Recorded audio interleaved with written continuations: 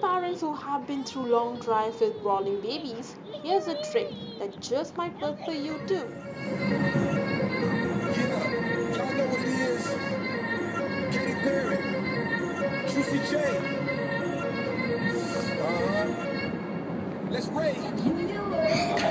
All All you have to do is play a Katy song. It seems to have brought smiles for this family in the adorable video. This video is going viral and making all say, so cute.